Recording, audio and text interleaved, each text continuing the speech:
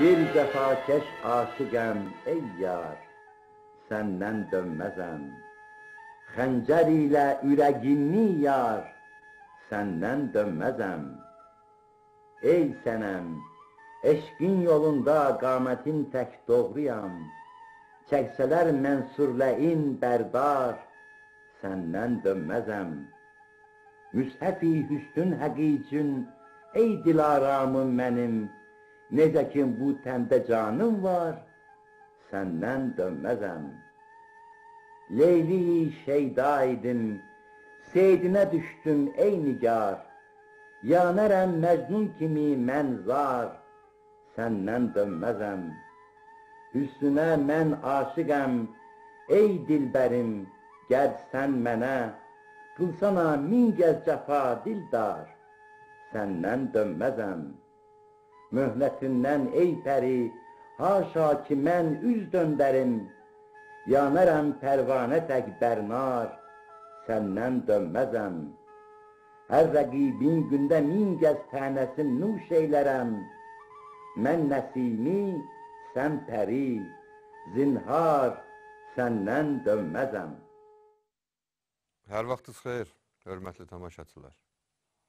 Əslində, Həzrəti Adəmin cənnətdə yediyi buğda ya yediyi alma, rəvayətlər müxtəlifdir, kimlik və hüviyyət alması idi. Çünki pərilərin kimliyi yox idi. Pərilərin varlığı yox, var, amma belə deyək, iradələri və ixtiyarları yox idi.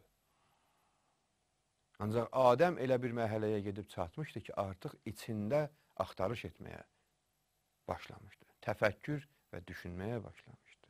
O düşün düşüncənin məhsulu idi ki, Adəm sürgünə göndərildi.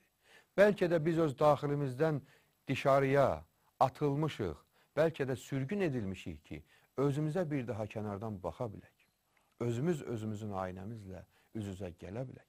Və yalnız ondadır ki, öz daxilimizdə baş verən prosesləri, baş verən həqiqətləri, öz daxilimizdə cərəyan və sərəyan edən gözəllikləri, əbədiliyi, ölməzliyi görə bilərik. İnsan çox vaxt özünü görə bilmir. İnsan müəyyən qədər uzaqlaşmalıdır, məsafə tutmalıdır. Bəzən səfərə getmək lazımdır. Ona görə də Mevlana deyir ki, sufi nəşəvət safi, ta dər nəkəşət cami. Besyar səfər bayət, ta poxdə şəvət xami. Çox səfərlər lazımdır ki, bir xam insan özünü kəşf etsin, özünü tanısın və bir safi, sufi, safiləşməz əgər səfər etməsə. Demək ki, biz öz daxilimizdən xaricimizə bir böyük bir səfər başlamışıq. Daxilimizdəki vicdan və əql meyvəsini yemişik. Ona görə də özümüzün kəşf etməsi üçün özümüzdən xaricə sürgün edilmişik. Artıq vaxtdır ki, özümüzə geri qayıdaq. Artıq vaxtdır ki, o sürgündən məqsədə, məbdəyə geri qayıdaq və neynamədə Mövlananın dediyi o neyin hicranı bir gün vəsl və vüsalla dəyişsin. Nəsiminin bu şeirdə göstərdiyi mənsur kimi dara çəkilmək əslində darı bir şəxsiyyətə çevirməkdir. O dar da bizik. Biz öz daxilimizdə mənsur kimi dara çəkilməliyik. Mənsur kimi özümüzə şəxsiyyət verməliyik. Mənsur kimi əbədiləşməliyik. Biz ölümləri məhv olmaq, fəna olmaq kimi görməməliyik. Ölüm həm də Azərbaycan dilində olumla qafiyədir bir növ. Bizim olum və ölümümüz Azərbaycan mədəniyyətində eynidir. Biz olanda ölürük, öləndə oluruq və bunlar o qədər biri-birini kamilləşdirirlər, o qədər biri-birinin kənarında biri-birini bütövləşdirirlər ki, sizə inandırım, mən heç bir ədəbiyyatda bu dərəcədə kamilliyi, bu dərəcədə kamillik yolunu göstərə bilən bir düşüncə görmədim. Üzü Nizamidən, Xaqanidən, Həsənoğludan, Racidən, Sahibdən, Şəhriyardan, bu günə qədər Nəsimidən, Füzulidən, bu günə qədər bizim ədəbiyyatımız bu kamilliyin göstəricisi olub. Bu bütövlüyün göstəricisi olub. Heç bir ədəbiyyatda bu yoxdur. Bu ədəbiyyatdır ki, bizim xalqı bu günə qədər yaşadıb. Və bundan sonra da bütöv bir xalq kimi təbii olaraq bir-birinin kənarında yaşatmağa kömək edəcək. Biz böyük bir ədəbiyyatın, böyük xalqın, böyük bir dövlətin və böyük bir ənənənin varisləriyik. Dönməzlik həm də ittisal vasil olmaq və çatmağın göstəricisidir. Çünki məsuliyyət yaradır özündə. Və çox vacibdir. Vəfadar insan mömin insandır. Vəfadar insan dönməz insandır. Və dönməz insan xaliq insandır. Xaliq insan da şahid insandır. Şahid insanda heç bir səbəbsiz, əsbabsız, heç bir faktsız, sənədsiz, subutsuz, xoşbəxt bir insandır. Biz ittisal nöqtəmizi axtarıb tapmalıyıq. Necə ki, rəvayətlərə görə, ədəbiyyatda da əlbəttə bu var. Məşuqlar fərqlidir.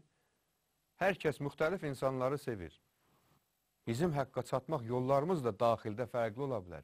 Amma ittisal nöqtəmiz bizim hamımızda eynidir. Mövlana bu kainatı böyük bir dənizə, böyük bir okeana bənzədir ki, insanlar onun üzərində dayanan qayıqlar, gəmilər kimidirlər. Onlar bəzən bir-birinə dəyə də bilirlər, bir-birinə uzaqlaşa da bilirlər. Amma əsas odur ki, onların hamısı bir okean üzərindədir və bunları birləşdirən bir böyük dəniz ruhu var. O ruh bizim hamımızda eyni nöqtəyə bağlıdır. Biz həmən nöqtəni biz öz daxilimizdə tapmalıyıq. Ondadır ki, kimi sevməyimizdən asılı olmayaraq, çatacağımız nöqtədə biz hamımız görüşəcəyik. İbudiyyət ya əbd olmaq, məşuq qarşısında aşiq olmaq, Allah qarşısında bəndə olmaq, məsuliyyət qarşısında dönməz olmaq, həm də Quran-ı kərimə hətta mən nümunə gətirim ki, risalətdən, peyğəmbərlikdən daha gözəl, daha vacibdir. Quran-ı kərimdə insanları cənnətə aparmaqdan ötürü bir dənə vədə var. Deyir, bəndəliyi qəbul etsinlər və cənnətə getsinlər. Bu nə deməkdir? Demək ki, biz istəyimiz, hədəfimiz və məşuqumuz qarşısında bir bəndə kimi, amma kölə kimi yox, bəndə kimi. Bəndə kimdir? Bəndə o adamdır ki, məşuqun və hədəf-i kamilin bütün varlığını duya və dərk edə bilib, görüb, özünü ona bağlayıb, risman-ı ilahi ilə özünü o məqsədinə bağlayıb, ayrılmır, dönmür, istəsə də dönə bilməz. Xəncərlə sinəsini yarsa da, mənsur kimi dara çəkilsə də, möhnət çəksə də, rənc, kədər, ələm, bunların hamısını görsə də, sürgün edilsə də, sonunda qayıdacaq. İnna lillah və inna iləyhi raciun. Biz Allahdanıq və Allaha geri qayıdacaq. Biz torpaqdanıq, torpağa geri qayıdacaq. Biz haqdanıq, haqqa geri qayıdacaq. O ney kimi ki, ney namədə də deyilir.